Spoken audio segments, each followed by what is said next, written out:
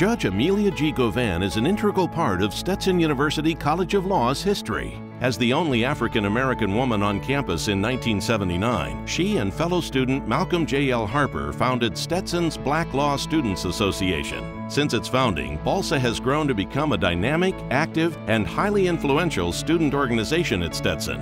BALSA's tremendous momentum would not be possible today except for the courage and confidence of its founders. Today, Judge Govan is an administrative law judge with the District of Columbia's Labor Standards Bureau, which is currently part of the Department of Employment Services. She conducts formal hearings and issues written decisions for private sector workers' compensation disputes in the District of Columbia. Amelia Gonzalez Govan grew up in New Jersey. Her father was from Tampa, her mother from Washington, D.C.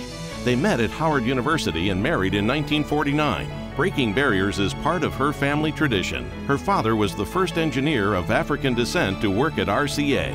Judge Govan followed in her parents' academic footsteps by attending Howard University, graduating magna cum laude with a Bachelor of Arts in English and Education. She was inducted into the National Honor Society. For the next five years, Judge Govan began a family and worked as a clerk at the U.S. Senate, as a legal secretary, and at a financial institution.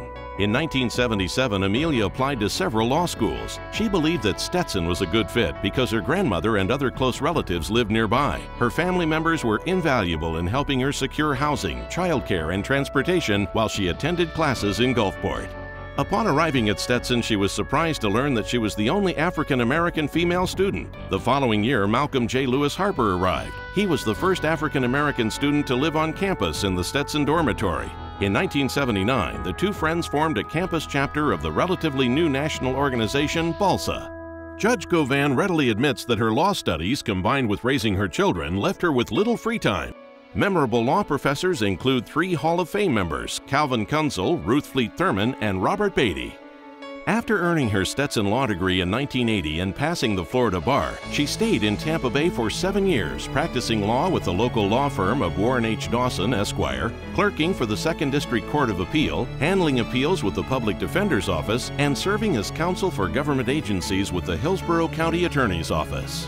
Amelia was admitted to the District of Columbia Bar and moved back to Washington, D.C. with her family. There, she moved up through the district's legal ranks to the position she now holds as administrative law judge. Amelia is understandably proud of her many accomplishments, co-founding BALSA on Stetson's campus, graduating from Stetson in her historic role, and now adjudicating hundreds of cases that affect the lives of those who work in the nation's capital. In addition, in May of this year, she was admitted to practice before the Supreme Court of the United States. She is also proud of her four children and four grandchildren who accompanied and encouraged her on the journey. Judge Amelia G. Govan now adds another accomplishment to her credentials as a member of the Stetson University College of Law Hall of Fame.